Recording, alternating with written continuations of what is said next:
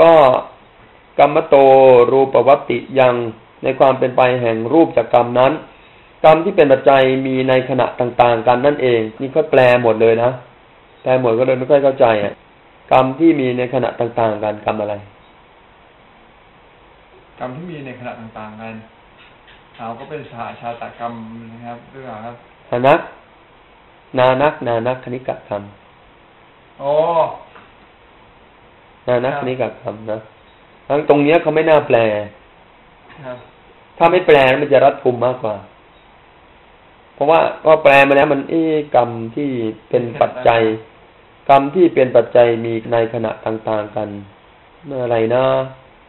ใช่ไหมนั้นถ้าคงเอาไว้แล้วเขาไปแปลความหมายเอาเองนี่จะดีกว่า ก็นานักคณิกากรรมเนี่ยนะเขียนไว้เผื่อใครก็จะมาอ่านจะได้รู้ ท่านประสงค์เอาว่ากรรมในที่นี้ เพราะนั้นก็ตัดไปเลยไอ้สาชาตกรรมนี้ไม่เอาเอาเฉพาะนานักคณิกกรรมนะถ้าเหตุนั้นท่านอาจารย์จึงกล่าวว่ากุศลเจตนา และอกุศลเจตนาชื่อว่ากรรม ท่านอาจารย์กล่าวว่ารูปเจ็ดสิบท่วนดังนี้ เพราะกระทำชีวิตตะนวกะรูปให้อย่างลงภายในจากขูทัศกะเป็นต้นนั่นเอง ก็คือชีวิตตะนวกะเนี่ยนะ มันเข้ากับกลุ่มของจักขู่มันเลยนะ จักขูก็มีชีวิตตะนวกะด้วย ก็จักขูอีกหนึ่งเป็นสิบนะโสตะคณะชิวหากายะนะแล้วก็ภาวะหารยะภาวะสองเลยอิทธิภาวะปุริสภาวะ แล้วก็จะมีชีวิตตะนวกะล้วนๆอีกนะแต่ว่าเจ็ดสิบนี่เขาเขาไม่เอา นะไอชีวิตตัดนวกะนะไม่เอาล้วนเพราะตอนที่ปฏิทิไม่มีของพวกโอปาติกะเนี่ยนะ ดังนั้นก็ชีวิตตัดนวกะนั้นไม่เอาและอิทธิภาวะบริสัทภาวะมันก็ในตัวคนเดียวก็มีอย่างเดียว ก็เลยเอาภาวะอย่างเดียว ก็เหลือเจ็ดสิบนะเหลือเจ็ดสิบคือคนเราเนี่ยหรือว่าชีวิตของสัตว์เนี่ย มันจะมีกลุ่มรูปเต็มที่มากสุดก็คือเจ็ดกลุ่มเจ็ดกลุ่มนะแปดไม่เหรอแปดกลุ่มมันตอนประวัติการไงเนี่ยนี่ก็เอาแน่นอน เออเอาปฏิทินแล้วก็แน่นอน เพราะว่าชีวิตตัดนวากาศกลาเนี่ยนะ มันก็มีอยู่ในกลุ่มของตาหูจมูกลิ้นกาย ก็เลยไม่นับเลยนะอีกอย่างหนึ่งชีวิตตานวกะรูปนั้น ไม่เป็นรูปที่กำหนดได้ง่าย เหมือนอย่างจักรูทัศกะเป็นต้นแล ท่านอาจารย์จึงกล่าวถึงวิบากขัน และกระตัตารูปตามที่กล่าวแล้วว่าตเดวะใช้คำว่าตเดวะ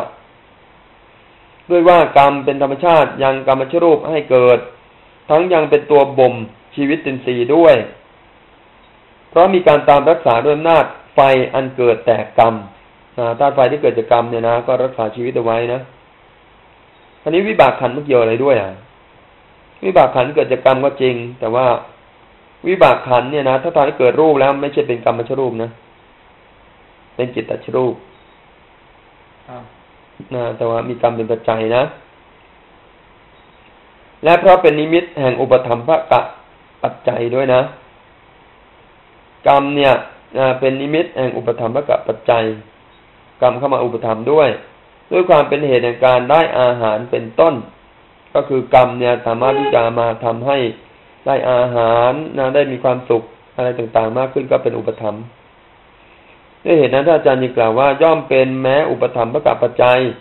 พึงทราบความที่กรรมนั้นเป็นอุปธรรมประกับปัจจัย โดยเป็นอุปนิสัยปัจจัยนั่นเอง นะอุปนิสัยปัจจัย มันก็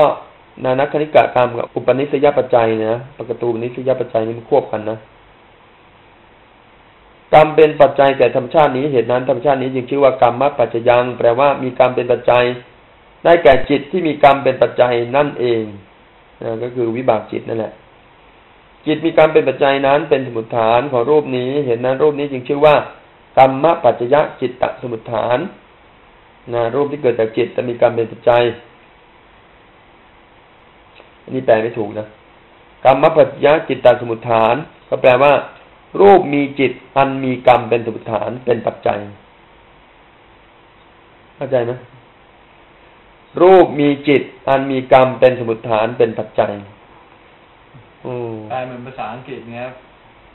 แปลตามคือแปลตามบาลีเลยนะไม่ได้แปลเป็นไทยนะครับเออเนาะ เขาแปลเลยลำดับคำเหมือนกับเหมือนกับในภาษาบาลีพวกคนไทยฟังก็ฟังไม่รู้เรื่องกรรมปัจจยจิตตสมุทฐาน รูปที่มีจิต มีกรรมเป็นสมุทฐานเป็นปัจจัยโอ้งงมากเลยรูปที่มีอะไรนะครับ มีจิตมีรูปมีจิต อันมีกรรมเป็นสมุทฐานเป็นปัจจัยพิษแปลยังไงแปลอย่างนี้มันก็เท่ากับว่า กรรมสมุทฐาน แต่มีจิตเป็นปัจจัยนะครับกรรมปัจจยจิตตสมุทฐานเนี่ยหมายถึงรูปที่มีจิตเป็นสมุทฐาน แต่มีกรรมเป็นปัจจัย รูปที่มีจิตเป็นสมุทฐาน แต่มีกรรมเป็นปัจจัยครับแปลแยกกันไปเลยก็ได้ใช่ไหมครับหรือว่าแปลงนี้ก็ได้จิตตัชรูปที่มีกรรมเป็นปัจจัยใช่ไหมใช่ป่ะได้ครับ ได้ นั้นจิตตัชรูปที่มีกรรมเป็นปัจจัยก็คืออะไร ก็จิตก็ผู้วิบากจิตตชรูปวิบากจิตตชรูปอย่างหนึ่งนะกับกุศลจิตตชรูปนะอกุศลจิตตชรูป กิริยาจิตตชรูปที่มีกรรมในอดีตมาอุปถัมภ์ด้วย ได้ไหมนั่นเขาเขาพูดไปแล้วไม่เหรอไม่ใช่ ไม่พูดยังไม่เกี่ยวกันนี้ อ๋อ อันนี้มันเป็นกรรมวิบาก กรรมปัจจัยปัจจัยกรรมสมุทฐานครับ ก็ก็เท่ากับนับไอ้สามกลุ่มที่เหลือ ใช่ แต่ว่าไอ้สามกลุ่มที่เหลือเนี่ยมันโดยปกตูเป็นนิสยปัจจัยไง ครับ แต่ถ้าไอ้วิบากจิตตชรูปเนี่ยนะมันโดยนานักคณิกะกรรมปัจจัยโดยตรง แต่กรรมปัจจยะกรรมสมุทฐานนี่ก็โดยอุปนิสัยเหมือนกันนะครับ ใช่เนี่ยอุปนิสัยกรรมปัจจยะกรรมสมุทฐานเนี่ยครับอ้าวอันนั้นมันไม่ใช่จิตตัดสมุทฐานครับนะถ้ากรรมปัจจยะกรรมสมุทฐานนั่นโดย อุปนิสัยปัจจัยครับอ่าอันนั้นเป็นอุปนิสัยปัจจัยแน่นอนครับนะเป็นนานักไม่ได้ด้วยครับเป็นอุปนิสัยปัจจัยนะ เพราะนานักเนี่ยมันต้องทำให้เกิดรูปใหม่ แต่ว่าไอ้กรรมที่มาอุปถัมภ์เนี่ยมันไม่ได้ทำให้เกิดรูปใหม่นะแต่มันเข้ามาอุปถัมภ์นะ อันนี้กรรมเนี่ยนะ นานัคณิกกรรมเป็นปัจจัยถ้าเกิดวิบากจิต โดยนานัคณิกกรรมปัจจัยนะและจิตเนี่ยทำให้เกิดรูปนะโดยสหชาตปัจจัยอันนี้กรรมก็เลยเป็นปัจจัยแก่รูปนี้โดยปกตูปนิสยปัจจัยใช่ไหมใช่ครับเออเพราะนั้นเนี่ย ถ้าเป็นกรรมที่เป็นปัจจัยที่ทำให้ให้ไปอุปถัมภ์เป็นปัจจัยแก่กุศลจิตตชรูปอกุศลจิตตชรูปกิริยาจิตตชรูปนะ ก็เป็นโดยปกตูปนิสยปัจจัยแบบโดยตรงเลย เป็นปกตูเหมือนกันไม่ใช่นั้นนะนะเอามาดูต่อไปบัณฑิตพึงกล่าวแม้ความที่เจตสิกอันเป็นวิบากทั้งหลาย มีจิตอันมีกรรมเป็นสมุทฐาน หรือไม่พึงกล่าวบ้าง เพราะท่านถือเอาด้วยตับว่ารูปมีกรรมเป็นสมุทฐาน และรูปมีกรรมเป็นปัจจัย บัณฑิตพึงถือเอาว่าโอชารูปที่ถึงความตั้งอยู่ย่อมยังโอชัดธรรมการูปให้ตั้งขึ้น ในสิริระที่มีอาหารซึมซาบไปตามหมายถึงว่า ต้องอาหารเข้าไปก่อนนะโอชาในกรรมมันถึงจะมีผลออกมาโอชาในกรรมถึงจะมีผลออกมา อันนี้กล่าวตามแนวอภิธรรมบทว่าตตราปิโยกโอชัตถมเก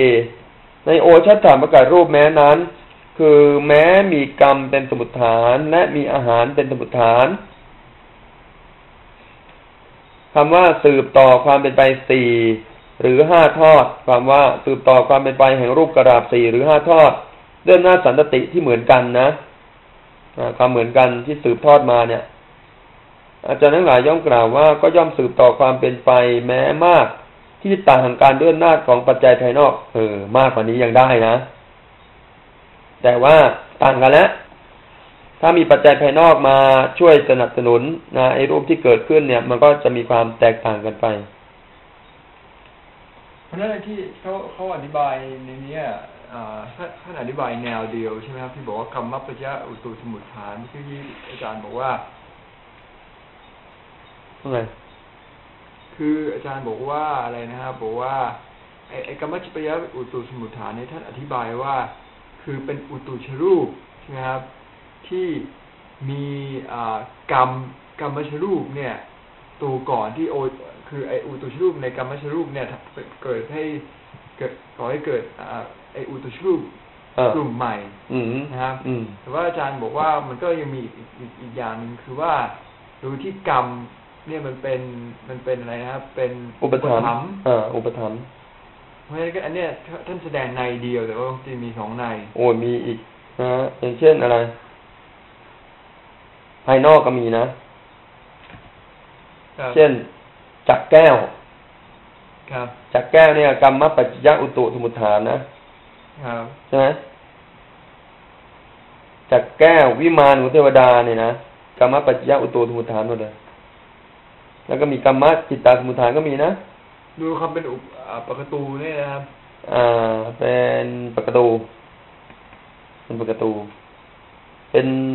ปกตูเป็นนิสยปัจจัยครัใช่บไหมเพราะเป็นนานะก็เป็นนานะไม่ได้ นานักเหรอ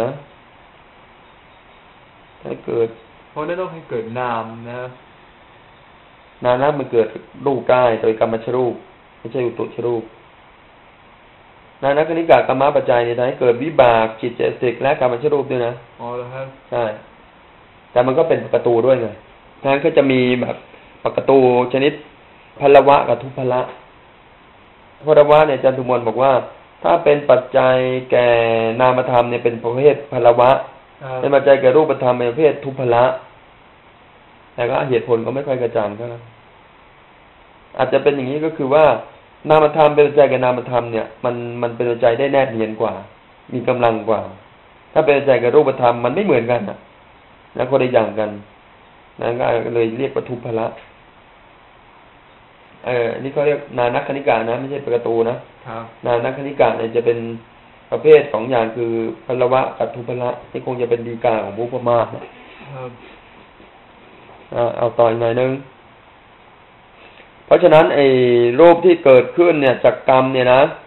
สี่ห้าทอดเนี่ยนะ ก็ยังสามารถจะเป็นไปได้มากกว่านี้ แต่ว่าการสืบต่อที่มากไปเนี่ย ต่างกันไอ้รูปที่เกิดขึ้นมีความต่างจากไอ้รูปที่เป็นปัจจัยให้เกิดแล้วแต่สี่ห้าทอดเนี่ยนะไอ้ตัวที่เป็นรูปอันแรกกระลาบแรกนะไอ้รูปในนั้นถ้าเกิดกลุ่มรูปใหม่ ความเหมือนกันนี่ยังมีอยู่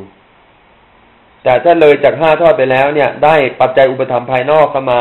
รูปที่เกิดใหม่ มันจะต่างจากไอตัวที่ทำให้เกิดแล้ว ความสืบต่อโดยเชื้อสายในรูปอันมีอาหาร ซึ่งมีกรรมเป็นปัจจัยเป็นสมุทฐานเป็นฉันใด ก็คือกรรมปัจจยอุตุสมุทฐานเนี่ยนะ แม้ในรูปอันมีอุตุ ซึ่งมีกรรมเป็นปัจจัยเป็นสมุทฐานก็หมายถึง กรรมปัจจยอุตุสมุทฐาน ก็มีความสืบต่อโดยเชื้อสาย เหมือนกันฉันนั้น เห็นนะอาจารย์ประสงค์จะแสดงความสืบต่อโดยเชื้อสายในรูป อันมีอุตุซึ่งมีกรรมเป็นปัจจัยเป็นสมุทฐานหมายถึง กรรมปัจจยอุตุสมุทฐานเนี่ย จึงกล่าวความเป็นต้นว่า ชื่อว่ารูปมีอุตุ ซึ่งมีกรรมเป็นปัจจัยเป็นสมุทฐาน ก็คือกรรมปัจจยอุตุสมุทฐานนะ ต้องมาแปลให้ทีนะแปลเป็นบาลีให้ฟังเออ นี่ก็แปลไทยแล้วก็กลับมาเป็นบาลี และในอธิการนี้ท่านอาจารย์ทั้งหลายกล่าวว่า ท่านอาจารย์เมื่อจะแสดงความเป็นไปต่อต่อกันในโกฏฐานในรูปนั้นๆ ได้แสดงความเป็นไปแห่งรูป มีครั้งที่สองเป็นต้น ที่มิได้เกิดแต่กรรม โดยไม่ปะปนกันโดยประการใด ก็พึงแสดงความเป็นไปแห่งรูป แม้โดยอำนาจความปะปนกัน เกี่ยวกับอุตุห มายถึงทีแรกก็แสดงกรรมไม่ใช่รูปก่อนล้วนๆไงนะแล้วก็แสดงกรรมปัจจัยใช่ไหมครับทีแรกแสดงกรรมสมุทฐานก่อน แล้วก็แสดงกรรมปัจจัย นี่หมายถึงไม่ปนกัน ตอนหลังก็แสดงปนกันนะ ก็คือ เกี่ยวกับอุตุซึ่งมีอาหารอันเกิดแต่กรรมเป็นสมุทฐานก็ได้แก่กรรมปัจจยะอุตุสมุทฐานกับกรรมปัจจยะอาหารสมุทฐาน เกี่ยวกับอาหารซึ่งมีอุตุอันเกิดแต่กรรมเป็นสมุทฐาน และเกี่ยวกับอุตุและอาหาร อันมีอาหารและอุตุอันเกิดแต่จิต ซึ่งมีกรรมเป็นปัจจัยเป็นสมุทฐาน เดี๋ยวจะมีการปนกันหลายอย่างเนี่ยนะก็คืออะไรบ้างคืออุตุปัจจยะจิตตสมุทฐาน อุตุปัจจยะอาหารสมุทฐานนะอุตุปัจจยะกรรมสมุทฐานอ๋อนี่มาทำตารางดีมากเลยนะเอ่อทำเรียบร้อยแล้วเดี๋ยวคุณเอามาใส่เป็นตารางนั่นเอง มันจะมีสี่หมวดเลยครับสี่หมวดทั้งหมดก็จะมีสี่สี่สิบหกครับสิบหกข้อด้วยกันนะสิบหกข้อด้วยกัน แต่ถ้าเราเอาไอ้นี่เข้าไปด้วยก็เป็นอะไรพอพูดถึงอุตุก็ต้องพูดถึงธาตุไฟเป็นตัวทำให้เกิดใช่ไหมอ่าธาตุไฟแล้วก็ธาตุไฟธาตุไฟเป็นสมุทฐานธาตุไฟเป็นปัจจัยนะแล้วก็ไปคละเคล้ากับไอ้สมุทฐานอื่นนะนะ ในบรรดารูปเหล่านั้น อาหารที่เป็นไปแต่กรรมมชรูป เมื่อมีการได้ปัจจัยที่ต่างออกไปใครๆไม่อาจกล่าวได้ว่าไม่สืบต่อความเป็นไปแม้ยิ่งกว่าความเป็นไป ซึ่งมีปริมาณตามที่กล่าวจริงอย่างนั้น ท่านอาจารย์จะกล่าวต่อไป สืบต่อความเป็นไปสิบถึงสิบสองทอดดังนี้ และว่ารูปมีอุตุเป็นสมุทฐาน แม้ตั้งอยู่ในฝ่ายอนุปาทินนะรูปแล้ว ก็ยังเป็นไปอยู่แม้นานๆก็ได้โดยในดังกล่าวมาชนี้ นะเออนี่เป็นความรู้ใหม่นะอะไรครับอันไหนครับก็เนี่ยก็คือปกติแล้วอาหารชรูปเนี่ยไออาหารที่เรากินเข้าไปเนี่ยนะมันก็จะแตกตัวได้สิบถึงสิบสองทอดไงครับ แต่ว่าถ้าได้ปัจจัยอื่นมาสนับสนุน มันสามารถเป็นไปได้มากกว่านี้ปัจจัยอื่นเช่น ก็เช่นอะไรอะนะเช่น อุตุที่เหมาะสมมาก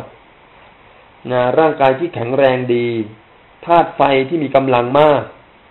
ธาตุไฟที่เหมาะสมเพราะธาตุไฟแต่ละคนที่ไปย่อยอาหารนี้ไม่เท่ากันใช่ไหมครับอ่าธาตุไฟที่ดีมาก มันก็ทำให้สามารถแตกตัวได้มากกว่านี้อ่าเออครับก็พระเจ้า ใช่สี่สิบเก้าวันใช่ไหมครับสิบเก้าวันนั้นด้วยโอชาของเทวเทดาวดาด้วยนะอ๋อครับเออของของเทวดาด้วยเอาวันนี้ก็แค่นี้ก็แล้วกันนะ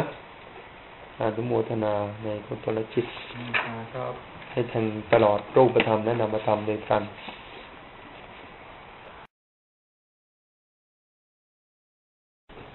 ขอนอบน้อมแด่พระผู้มีพระภาคอรหันตสัมมาสัมพุทธเจ้าพระองค์นั้น สวัสดีครับอาวุโส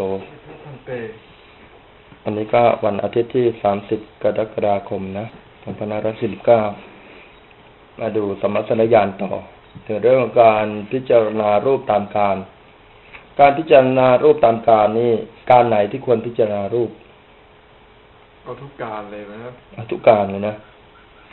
นะตามกาละนะที่ควรที่จะเจริญธรรมวิจยะสัมโพชงนะ เพราะว่าถ้ากาละที่ฟุ้งซ่านเนี่ยนะควรมาวิเคราะห์ไหมอ๋อ ถ้ามันฟุ้งซ่านแล้วนักวิเคราะห์มันก็ฟุ้งซ่านขึ้นเหมือนครับอ่าแล้วก็การที่สงบนะการที่จิตตั้งมั่นนะอันนี้ควรจะมาวิเคราะห์ ควรจะมาพิจารณา มาแยกแยะนะมาใส่ใจจริงๆจังให้ติดต่อกันอันนี้ก็ต้องดูการละเหมือนกันนะอาการละสี่ประการเนี่ยพระเจ้าให้ผลัดเปลี่ยนกันนะ เพื่อที่จะทำให้สิ้นอาสวะไปเนี่ยได้ก็คือ ฟังธรรมะตามการ สนทนาธรรมะตามการ เจริญสมถะตามการ แล้วก็เจริญวิปัสสนาตามการ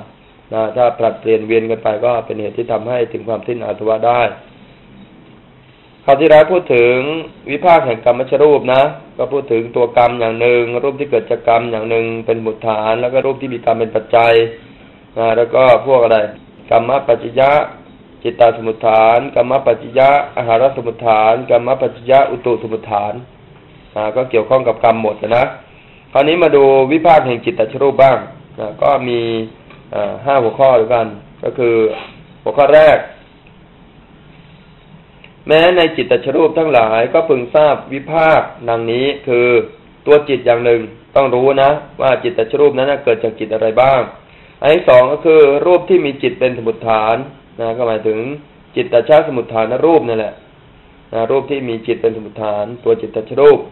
แล้วก็อันที่สามรูปที่มีจิตเป็นปัจจัยนะจิตเข้าไปเป็นปัจจัยแก่รูปได้หลายอย่างเลยนะ แล้วก็อันที่สี่รูปที่มีอาหาร อันมีจิตเป็นปัจจัยเป็นสมุทฐาน อันนี้ก็ได้แก่จิตตะปัจจยักอาหารสมุทฐานนั่นเองอันที่ห้ารูปที่มีอุตุอันมีจิตเป็นปัจจัยเป็นสมุทฐานนี้ได้แก่จิตตปัจจยะอุตุสมุทฐานจิตตปัจจยะอุตุสมุทฐานนะหมายถึงอะไรในนั่นนะ ที่ชีตที่ให้ไปนะอ่าวงเล็บออกมาให้ ในวิภาคเหล่านั้นนะจิตแปดสิบเก้าดวงเนี่ย ชื่อว่าจิต ทั้งหมดเลยจิตแปดเก้าดวงเป็นจิต ในจิตเหล่านั้น จิตสามสิบสองดวงนะส่วนหนึ่งเนี่ย จิตสามสองดวงเป็นส่วนหนึ่งจิตยี่สิบหกดวงเป็นส่วนหนึ่งจิตสิบเก้าดวงเป็นส่วนหนึ่งแล้วก็จิตสิบหกดวงเป็นส่วนหนึ่งตกลงแล้ว ในจิตแปดสิบเก้าดวงเนี่ยนะ จำแนกออกเป็นสี่หมวดด้วยกันจิตสามสิบสองจิตยี่สิบหกจิตสิบเก้าแล้วก็จิตสิบหกนะมาดูว่าจำแนกเป็นไงบ้าง บัณฑิตทราบว่าเป็นจิตที่ยังรูปหมายถึงจิตตัชรูปนะ รูปอิริยาบถแล้วก็วิยติรูปให้เกิดก็มี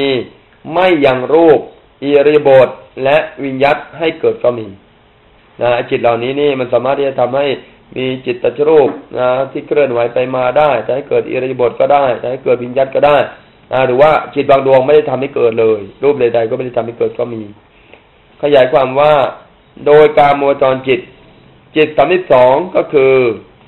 กุศลจิตแปดดวงอกุศลจิตสิบสองดวงก็เป็นยี่สิบแล้วกิริยาจิตสิบดวงนะการมกิริยามีสิบเอ็ดนะ แต่ว่าเว้นมโนธาเว้นมโนธาตุ ก็เหลืออะไร มหากิริยาแปดนะแล้วก็อาศิปาทะหนึ่งมโนทวารชนะหนึ่งอันนี้ก็เรียกว่าการมกิริยาสิบดวงนี้จึงสามารถที่จะทำให้เกิดรูปนะที่เป็นวิญญาตอะไรต่างๆได้นะ แล้วก็อภิญญาจิตอีกสองดวง โดยเป็นกุศลและกิริยาหมายถึง รูปปัญจมชานกุศลกับรูปปัญจมชานกิริยาที่ผ่านการฝึกอภิญญามาแล้วนะจิตสามที่สองดวงนี้ยังรูปหมายถึงว่า จิตตชรูปนะทำให้จิตตชรูปเกิดขึ้น แล้วก็รูปอิริยบถเกิดด้วย แล้วก็วิญญาติรูปให้เกิดได้ด้วยต้องสามส่วนเลยนะอันนี้จิตสามสองดวงนี่แหละ จิตสามสองดวงนี่แหละ เป็นจิตที่ทำให้เกิดการต้องอบัตนะแต่ให้เกิดการต้องอบัตสามสองดวงนี้ ส่วนจิตยี่สิบหกดวงนั้น คือรูปาวจรจิตสิบดวงไอ้คำว่าที่เหลือเนี่ยออกนะ นะรูปาวจรจิตสิบดวง เว้นวิบากจิตนะเว้นวิบากจิตก็ได้แก่รูปาวจรกุศลกับรูปาวจรกิริยานะ ไม่ต้องเว้นอะนะไอ้ไม่ต้องมีที่เหลือ เว้นวิบากจิตเพราะวิบากจิตไม่ทำให้เกิดจิตตชรูปอรูปาวจรอรูปาวจรจิตแปดดวงก็คืออรูปาวจรกุศลสี่อรูปาวจรกิริยาสี่วิบากไม่เป็นปัจจัยเกิดรูป รูปาวจรจิตสิบดวง อ่าสิบดวงนี้กุศลกับกิริยานะ รวมทั้งโลตรจิตอีกแปดดวงยังจิตตัชรูปและอิริยบทให้เกิดนะ แต่ว่าไม่ทำให้เกิดยินยัตไม่ทำให้เกิดรูปวิญยัตนะ รูปาวจรจิตสิบดวงอ่ารูปาวจรจิตแปดดวง โลตรจิตอีกแปดดวงเนี่ยทำให้เกิดจิตตัชรูปได้ทำให้เกิดรูปที่เป็นอิริยบทได้นะยกเว้นการเดินนะ นั่ง ยืนนอนได้เป็นอิริยาบถใหญ่ตั้งมั่นนะได้นะ แต่อิริยาบถเดินไม่ได้อิริยาบถเดินนี่ต้องเป็นไปด้วยการมจรจิต อันนี้มันเป็นมหากตาจิต มหากตาจิตยี่สิบหกดวงเนี่ย หมายถึงเป็นอัปปนาชวนะนะยี่สิบหกดวงนี้คืออัปปนาชวนะนะจะเขียนไว้ก็ได้นะยี่สิบหกดวงนี้ก็ทำให้เกิดจิตตชรูป แล้วก็รูปอิริยาบถแต่ไม่ยังวิญญาตให้เกิด ราะเป็นอัปนาชนะไม่ทำให้เกิดการเคลื่อนไหวไหวกายไหววาจา ส่วนจิตสิบเก้าดวงก็คือภวังคจิตสิบดวงได้แก่อะไร มหาวิบากแปดนะแล้วก็สันติรณะกุศลวิบากหนึ่งอกุศลวิบากหนึ่งสองรวมเป็นสิบนะ นี่เรียกว่าภวังคจิตในการโมจร การมะภวังสิบดวง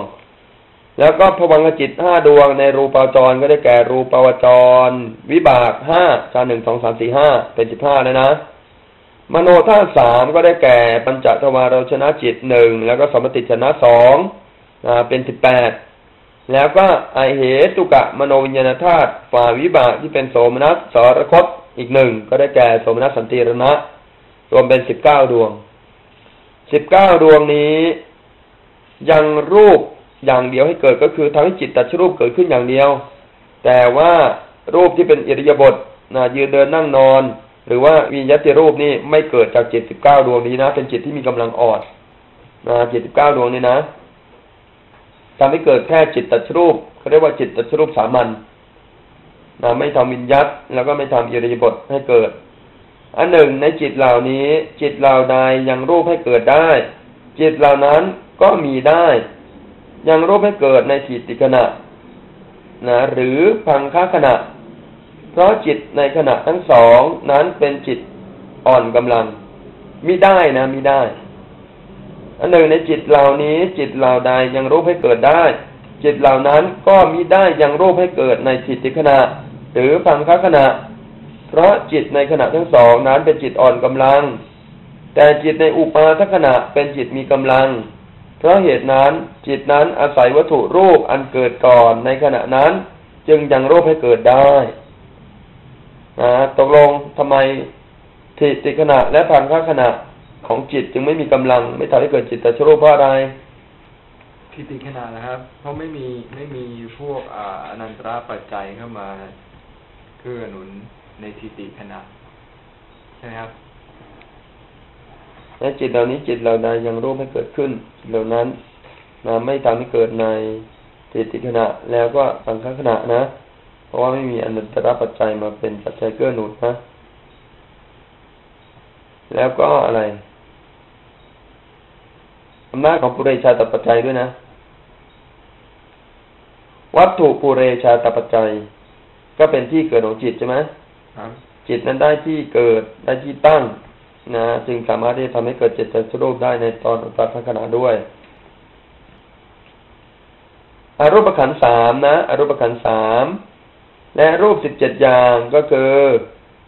สัทธานวการูปนับเก้าก็ได้แก่อวิโฟกรูปแปดกับเสียงหนึ่งเป็นเก้านะกายยมยับหนึ่งวิจิวิญยับหนึ่งเป็นสิบเอ็ดอากาศสภาเป็นสิบสองแล้วหูตารูปสิบสามมุตุตารูปสิบสี่กรรมัญญตารูปเบาอ่อนควรการงานนิการรูปสามเนี่ยนะเป็นสิบห้า อุปัจยะรูปที่ก่อเกิดขึ้นสิบหกแล้วก็สันติเป็นสิบเจ็ดนะสิบเจ็ดรูปนี้ชื่อว่ารูปมีจิตเป็นสมุทฐาน เพราะฉะนั้นจิตที่ทำให้เกิดจิตแต่ชรูปได้ทั้งหมดมีเจ็ดสิบห้าดวงนะ ก็แบ่งเป็นสี่กลุ่มนี่แหละ ก็คือ จิตสามสิบสองจิตยี่สิบหกนะแล้วก็จิตสิบเก้าส่วนไอ้จิตสิบหกเนี่ยมันไม่ทำให้เกิดรูปใดๆอ่าเมื่อกี้ยังไม่ได้อ่านใช่ไหม จิตสิบหกดวงก็คือปัญจวิญญาณสองตัววิญญาณวิญญาณสิบดวงนี่นะ ปฏิทินที่จิตของสัตว์ทั้งปวงหนึ่งจุติจิตของพระหันทั้งหลายหนึ่งแล้วก็อรูปวิบากจิตตีอรูปวิบากจิตตีนะทั้งหมดนี้เป็นจิตที่ไม่ยังรูปให้เกิด ไม่ยังอีรีบทให้เกิด แล้วก็ไม่ยังวิญญาณให้เกิดเลยไม่ทำให้รูปเกิดเลยสิบหกดวงนี้นะแต่ความจริงนะที่แน่นอนก็คือสิบสี่ดวง วิปัญจวิญญาณสิบแล้วก็รูปวิบากสี่ส่วนไอ้เจ้า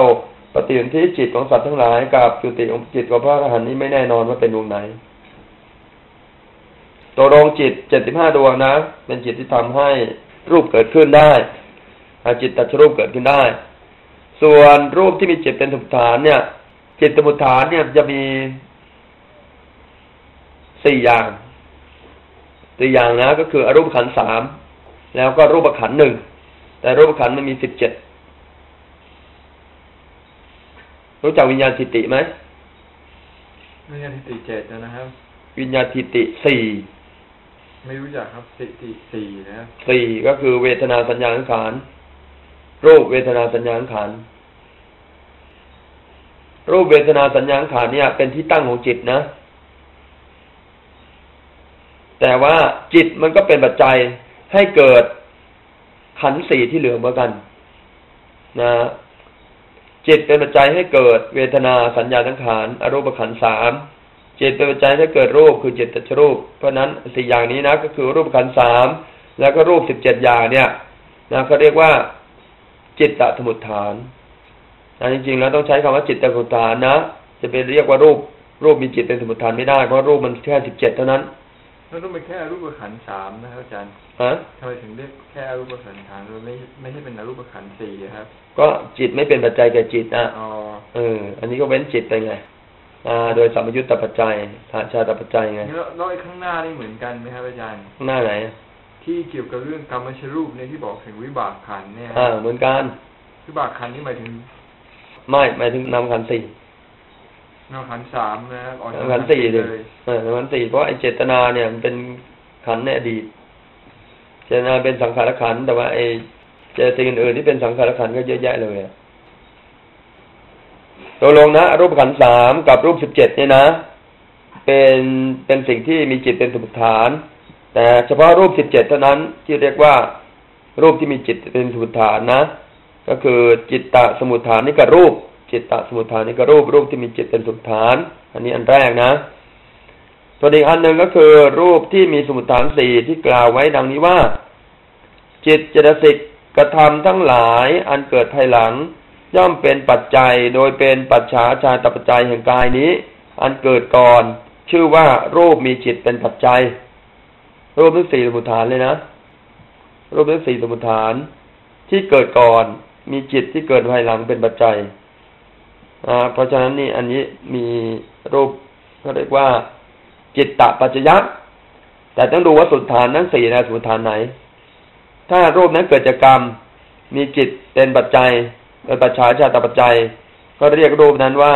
จิตตปัจจยะกรรมสมุทฐาน